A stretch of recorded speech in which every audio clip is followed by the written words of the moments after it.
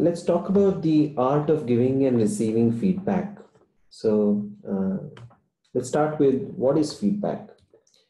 Uh, feedback is a, a, feedback conversation is a conversation where you're having with these two specific goals in mind. So it's a, either if your goal is to talk to the individual to strengthen their confidence about uh, uh, what they do and how they do it, or if you want to talk to the individual to strengthen uh, to, to increase their effectiveness about how they go about doing something.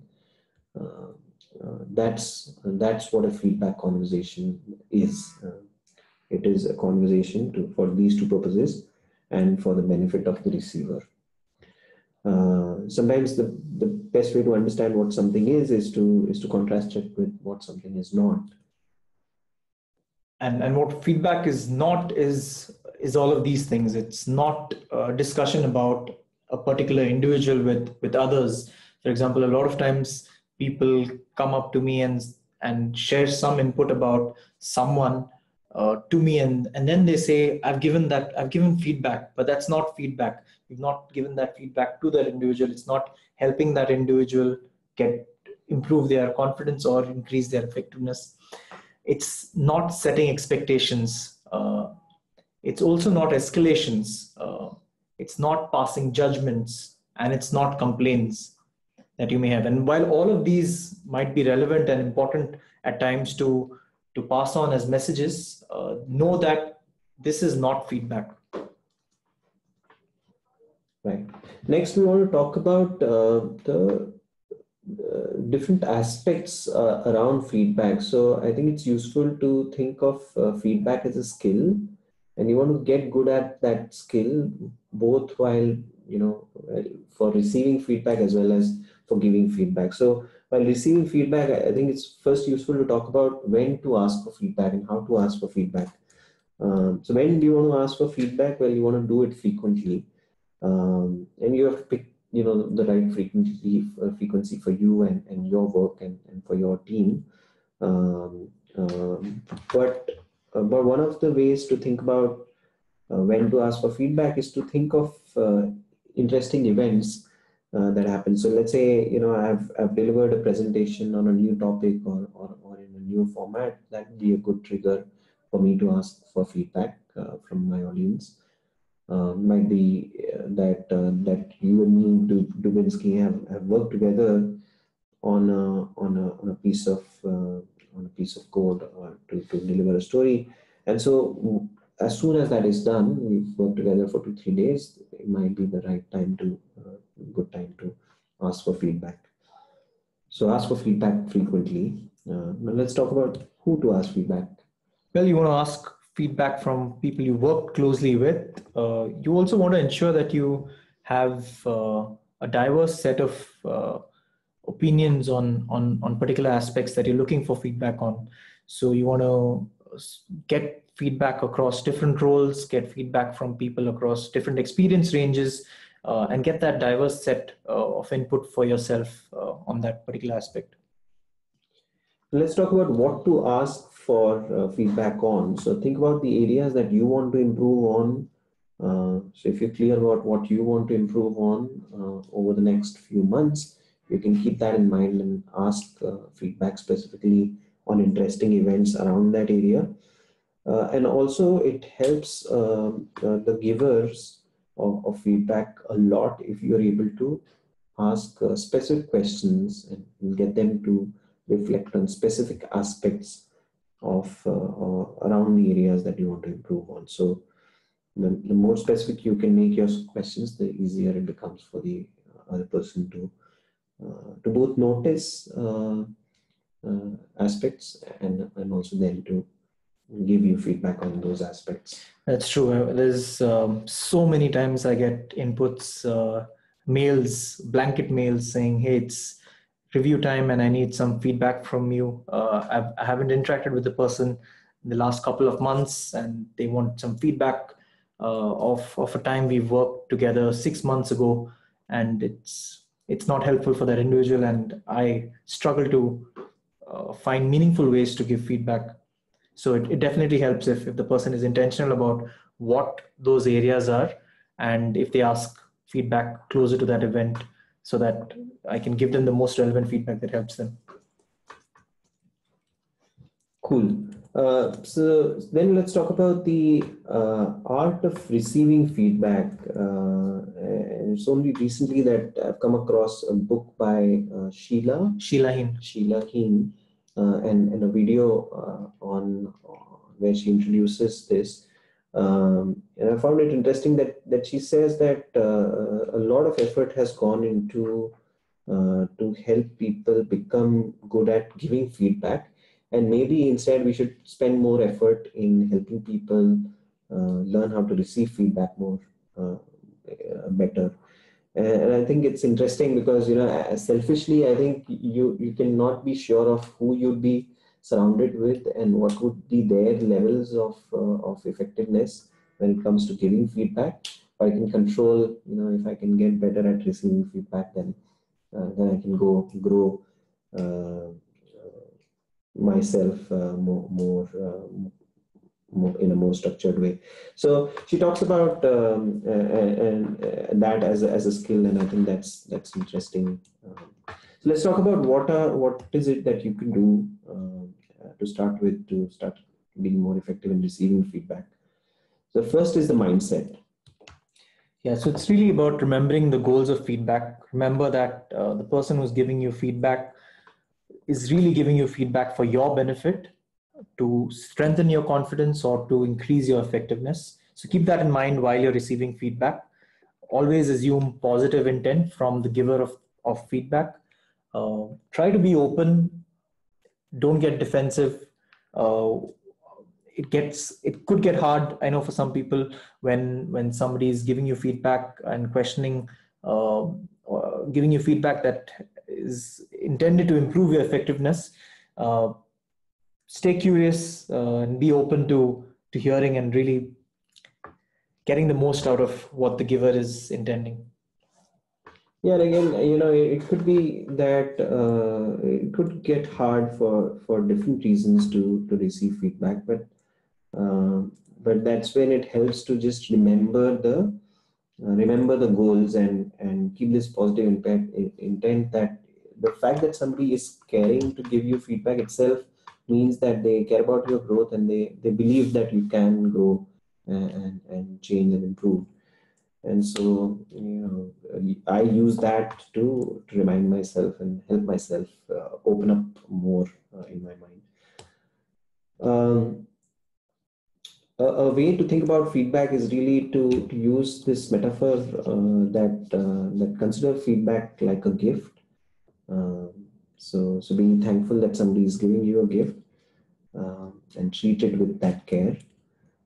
Um, uh, think about while receiving feedback uh, and in that conversation, you want to practice active listening. So you want to pay attention to what the other person is saying.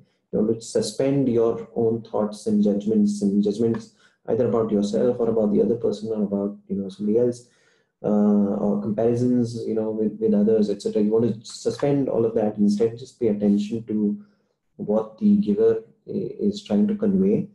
Uh, you also want to ask for clarifications. You want to ask uh, uh deeper questions to, to understand uh, it better.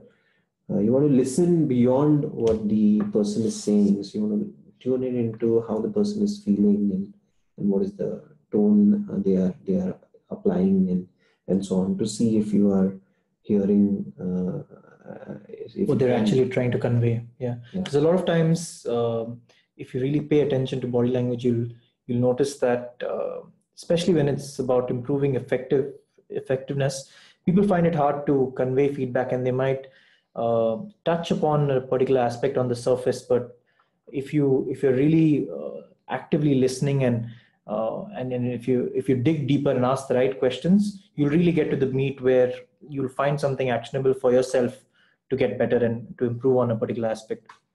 Right.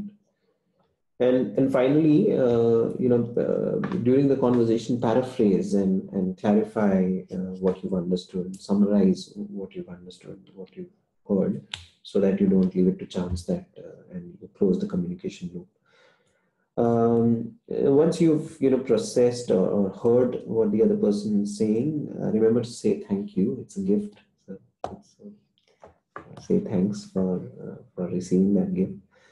Uh, but then uh, I think it's important to uh, to continue the gift metaphor forward and and know that it's up to the giver to give you that, but it's up to you to make use of it in whichever way you think is appropriate. So, but so it's useful to really stop and introspect and you know in your own time process uh, what you've heard uh, and reflect on it yourself.